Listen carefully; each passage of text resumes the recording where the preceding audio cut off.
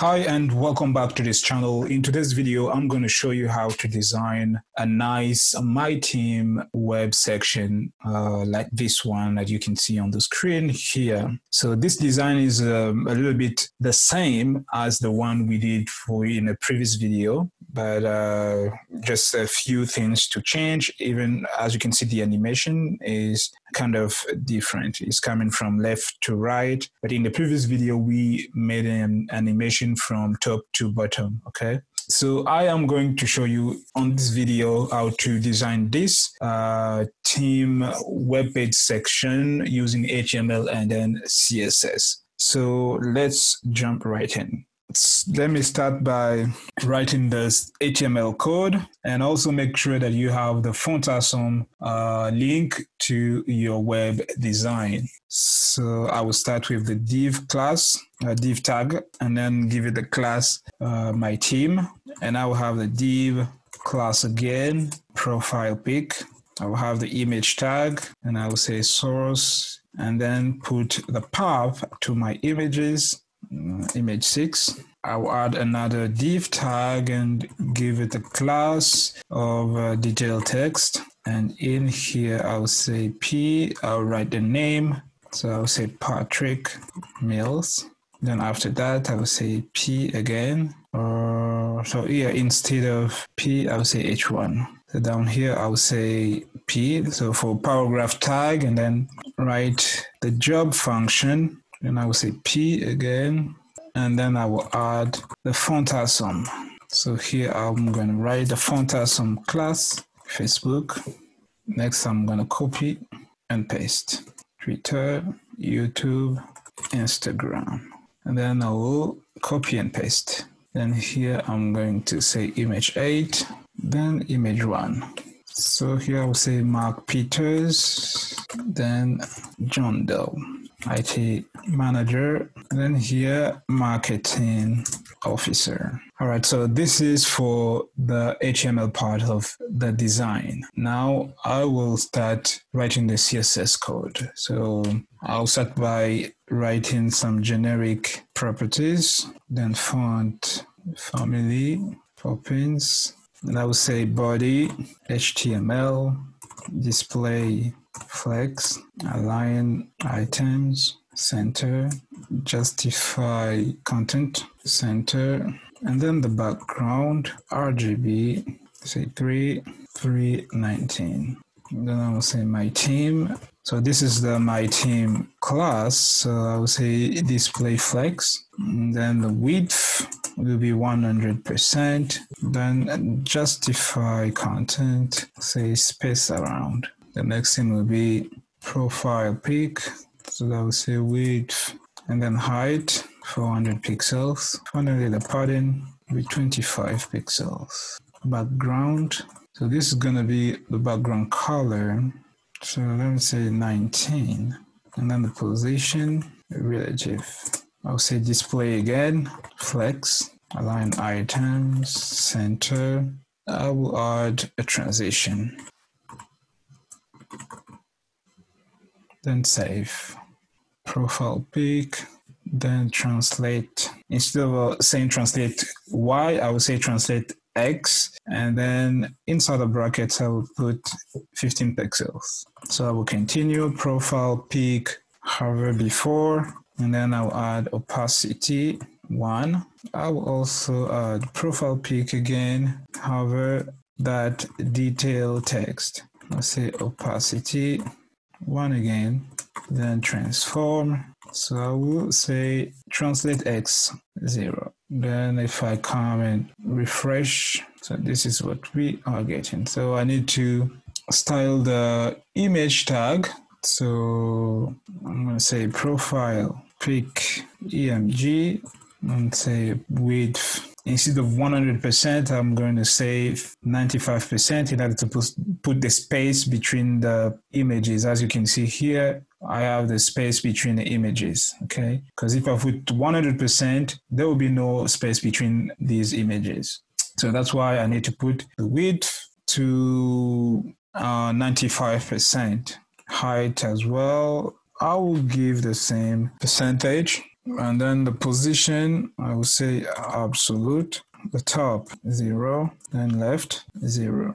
So I will say object fit, cover, save. We come and refresh. Yes. So now, as you can see, all the images are showing correctly. I need to add some overlay. So in order to do that, I will simply say profile pic before and then content, position, absolute, top zero, left zero as well, and display block.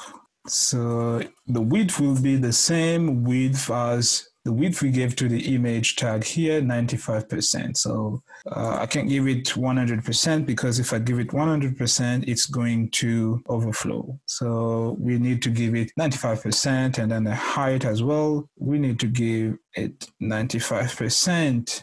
So as for the background color, we are going to make it linear gradient. So I will need to write linear gradient and then specify the direction. So I can say to bottom, for example, just for us to see how this is going to look like. RGB 233 4 comma 4 and then transparent then uh, Z index, say 2.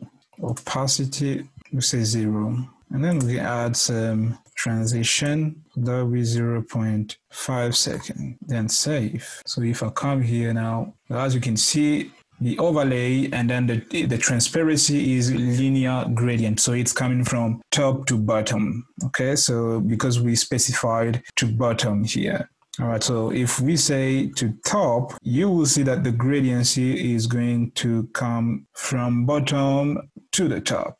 Yeah, as you can see now. All right, so after doing that, we can now start styling the text details of our design. So we will write profile pic that detail text because that's the name we gave to the class and position relative z index. This is to make sure that the text is going to come before it's going to come in front of the overlay. So i'm going to say three like this and then the color will be white as usual. The opacity zero and transform the translate x 60% then transition will be the same 0.5 seconds. Now, if you refresh, yeah, as you can see, the transition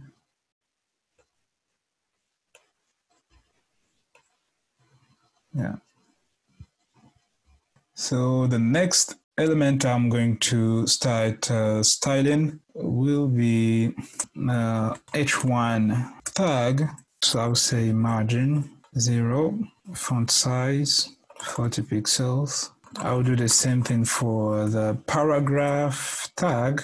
So here I'm going to add some letter spacing, then the font size and margin top.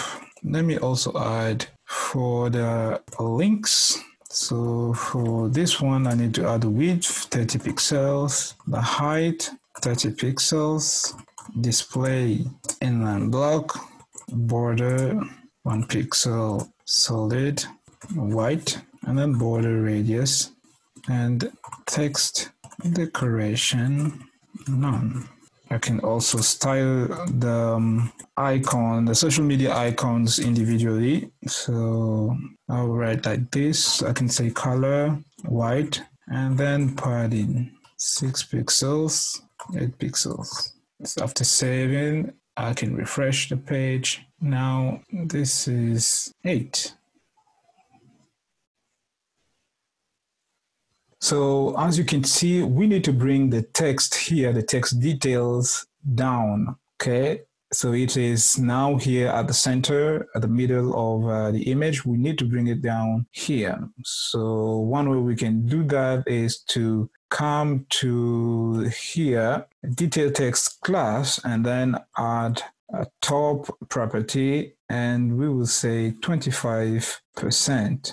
Then come here to refresh. Yes, so it is working. So I guess our CSS code is complete the same thing for our HTML code and our design is uh, looking pretty. So guys, that's it concerning how you can design this team web page section, okay, uh, using HTML and CSS, and then applying some overlay background color and then some effects and uh, animation when you put your mouse on each of these images. As you can see me doing like this here. So I hope this video was informative and please don't forget to like and subscribe to this channel and uh, let's meet in the next video.